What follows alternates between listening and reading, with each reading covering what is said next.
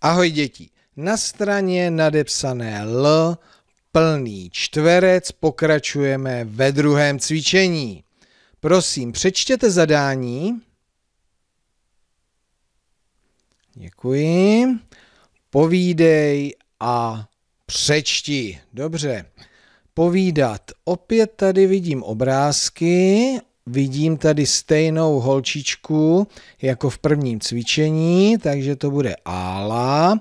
No a v prvním cvičení nám Ála vstávala, maminka ji tam budila a teďka už vstala a na prvním obrázku, ano, ranní hygiena, čistí si zuby, buď se umila, nebo se na to ještě chystá. A potom pokračuje, ano, má krásné dlouhé vlasy, takže si je musí upravit, má tady gumičky, vybere si asi tu nejkrásnější, kterou si dá do vlasů. Takže to máme takové povídání o obrázku, o tom horním i o tom dolním. Vy můžete říct ještě další a další věci, které vidíte. No a teďka se pustíme do čtení a ty věty si nejdříve připravíme společně. Ála má kartáček a zubní pastu. Když řekneme jenom pastu, tak to také stačí. Další věta.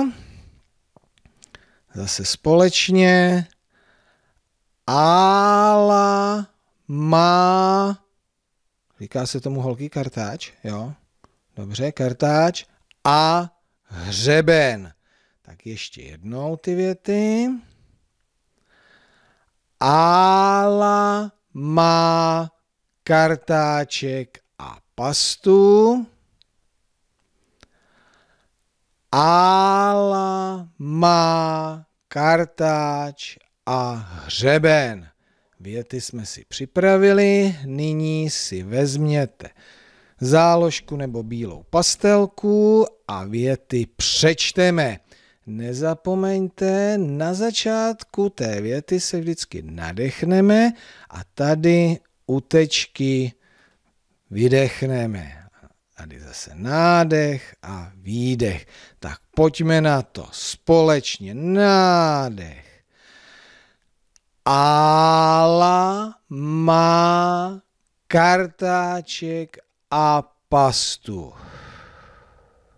Nádech. Ála má kartáč a hřeben.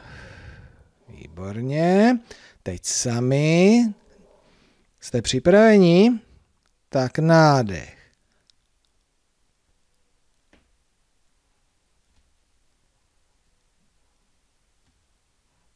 Výdech. Nádech.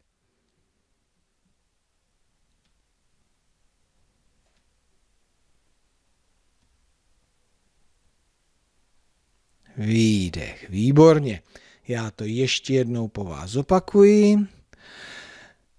Ála má kartáček a pastu. Ála má kartáč a hřeben. Výborně. Tak tohle cvičení bylo o ranní hygieně. No, můžete ještě pokračovat. Povídejte vy o své ranní hygieně. Čistíte si zuby, mejete se, upravujete si vlasy. Hmm, určitě ano.